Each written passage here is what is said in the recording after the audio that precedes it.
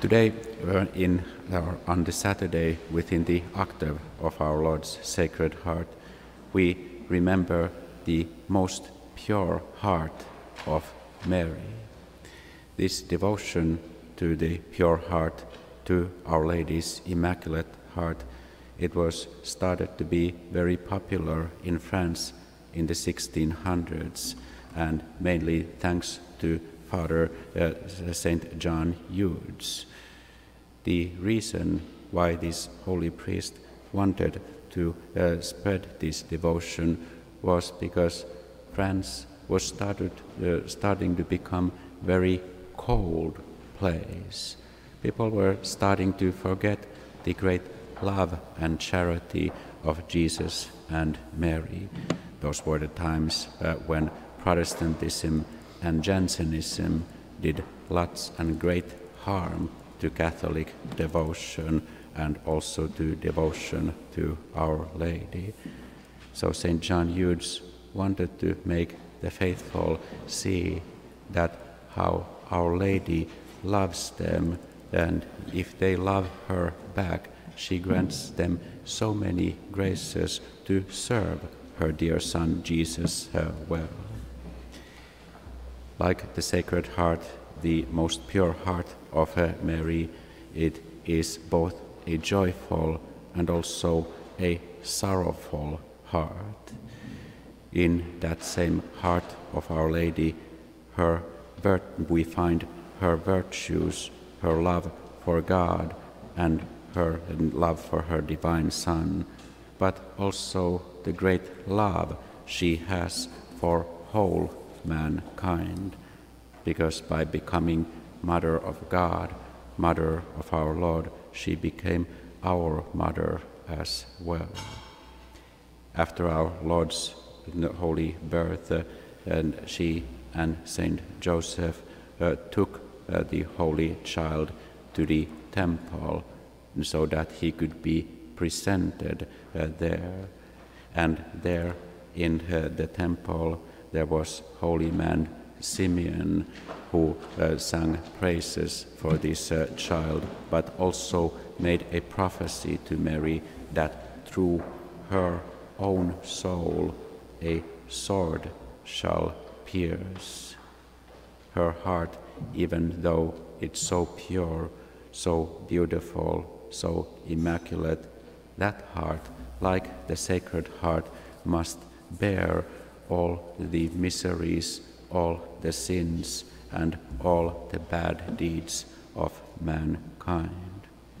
We heard yesterday that it was a great cross, it was a great pain and suffering to our Lord's heart to carry all these bad deeds and sins of mankind, but equally it was a heavy cross to Our Lady as well to present all these things to God Almighty for the sake of love to mankind.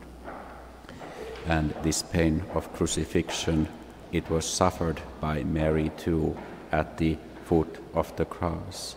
And there at the foot of the cross there were there was love of uh, three hearts that there was love of God and love of man in the heart of Jesus and also the love of Mary his and our mother so whenever we think about the passion and endurance of Jesus Christ, we at the same time venerate the pure heart of his holy uh, mother. And when Mary was living here on uh, this uh, earth, because she loved us so much, her humility always made her wish to appear like one of us. In the eyes of the world, Mary was an ordinary woman. She did her chores, she did her duties, just like any wife, any uh, mother who has a loving and pure heart would do her chores and her own her duties. And Mary's heart which was free from her sin right from the first beatings was so pleasing to God Almighty. We never do wrong if we love Mary and have devotion to her immaculate heart. So you should think about that you too were presented to God in your baptism, like Jesus was presented in the temple. You also belong to God, and like Mary, you are called to love Him and serve Him. So today, say to yourself, I will keep God's commandments all the days of my life. Simeon, he thanked God with a full heart for having sent the Savior. In what way do you thank Him for the unspeakable grace of redemption? You should thank Him every day in your prayers.